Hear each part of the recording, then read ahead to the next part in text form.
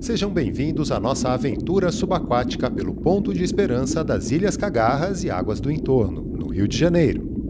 Esta área inclui o Monumento Natural das Ilhas Cagarras, unidade de conservação marinha vital para muitas espécies. Nosso objetivo é pesquisar para proteger cada vez mais cada uma delas.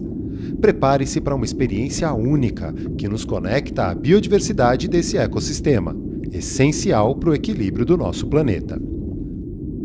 Olhem quantos peixes diferentes nadando bem na frente da gente.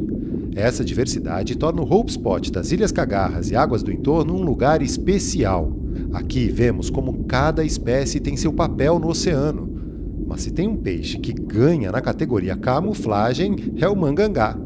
Já encontrou ele sobre a pedra? Cuidado, porque ele tem espinhos venenosos. Aqui você pode ver os pesquisadores do projeto Ilhas do Rio reunindo informações sobre tartarugas marinhas. Usando a foto-identificação, o trabalho deles busca conhecer mais sobre os animais que usam as águas do Hope Spot para se abrigar. Olhe para cima.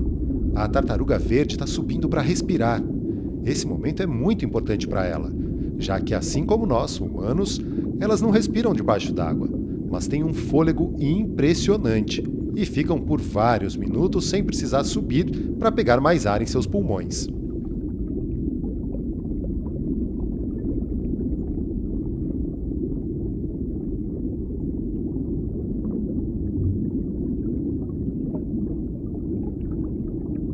Vejam como a tartaruga nada tranquilamente ao nosso lado.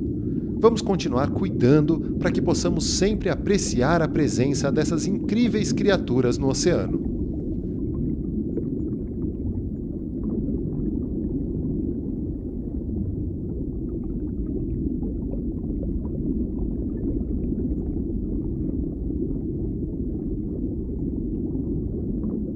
Chegou a hora de subir para a superfície.